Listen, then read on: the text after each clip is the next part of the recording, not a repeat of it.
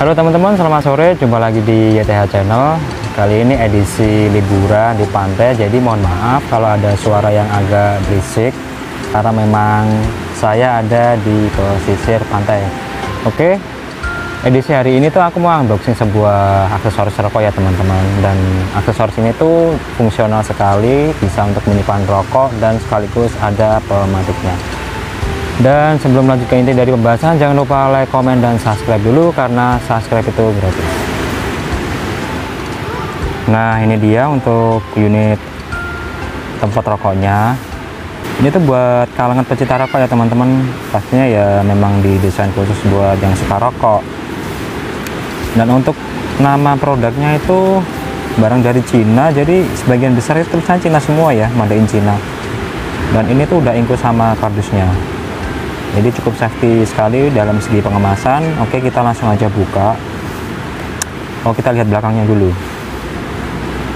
Aku nggak bisa bahasa Jepang tapi saya bisa membaca gambar. Kalau di sini tuh dia bisa nyala sekaligus sama koreknya ya teman-teman. Dan ini untuk slot tempat rokoknya dan ini untuk slot untuk mengeluarkan dari slot tempat rokok dalam posisi ready untuk siap di pakai. Dan ini bisa di refill pastinya. Oke langsung aja kita lihat dalamnya. Oh ternyata ada nama produknya. Baru ketemu teman-teman. Untuk nama produknya itu Fatri kotak rokok 20 slot dengan korek gas. Oke kita lihat dalamnya. Ada bungkus plastik. Ada tulisan Firetrick untuk tipenya JD YH037 kita coba inspek satu persatu. Mulai dari dimensinya teman-teman. Ini kurang lebih sekitar 10 cm persegi ya. Jadi cukup besar. Dan untuk tebelnya itu kurang lebih sekitar 2 cm setengah. Ya kalau menurut saya sih masih ekonomis sih dipakai bisa masuk kantong dan sekarang kita inspek yang bagian atas. Dan bagian atas ini ada seperti tempat keluarnya api ya teman-teman. Dan sampingnya ada semacam lubang tapi dia bisa dibuka ya. Kita coba di bagian handle yang samping. Kita atasin. Oh mungkin karena belum ada isinya ya. Oke nanti kita coba praktekin. Dan untuk set yang samping paling pinggir ini ini ada semacam pengancing nah nah di sini tempat kita ngisi rokoknya di sini ya teman-teman. Dan di sini ada pegasnya. Jadi kalau kita beli rokok biasanya kan kalau kena air atau kena hujan itu kadang bisa rusak dalamnya ya. Jadi kalau kalian pakai tempat korek yang kayak gini itu bisa lebih mengurangi meminimalisir terjadinya hal yang fatal. Oke keren sekali. Dan untuk dari cover oh ya yang ini bagian untuk mengeluarkan rokoknya ya teman-teman. Nanti kita coba perhatikan. Untuk bagian set samping ini ada tulisan lighter. Jadi bagian pematiknya ya teman-teman. Jadi kurang lebih makanya gini ya. Kita coba tapi ini kayaknya belum ada isinya ya. Oh ya yang ini bagian belakang ini ada tempat refillnya. Wah jadi aku nggak bisa praktekin sekaligus ya karena aku nggak bawa gas untuk refillnya. Jadi kurang lebihnya kayak gini.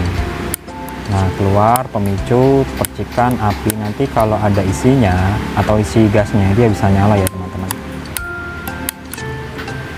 Dan untuk dari segi material mayoritas dari plastik tapi nggak usah khawatir plastiknya cukup relatif kuat. Dan dibalut dengan besi stainless. Dan ada motifnya ya teman-teman. Oke kita coba praktekin aja. Sukun eksekutif. Jadi kalau rokok sukun ini memang sudah familiar ya di area Jepara Kota, Kudus, Semarang dan sekitarnya kita coba praktekin pakai rokok ini ya teman-teman. Kita coba buka pinggirnya dulu. Dan kita ambil satu karena rokoknya ini tinggal dua ya teman-teman. Oh tinggal empat. Kita coba ambil satu kita masukin. Untuk yang set di dalam ini ternyata ada penyekatnya ya teman-teman. Jadi kayaknya kayaknya nih ya ini rokok ini tuh enggak enggak didesain tempat rokok ini enggak didesain khusus untuk yang rokok seperti rokok kretek yang mempunyai diameter besar ya. Mungkin lebih cocok untuk rokok-rokok seperti LA terus EC tapi ini aku coba pakai rokok yang ini ya sukun. Kita coba masukin aja. Hmm. bener kan? Sempit kan jadi memang ini tuh tempat rokoknya buat rokok yang size nya kecil. Coba masukin.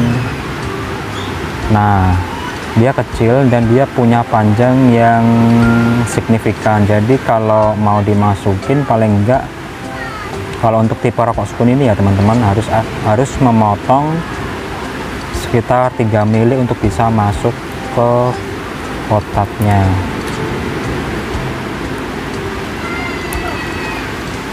kita coba tutup.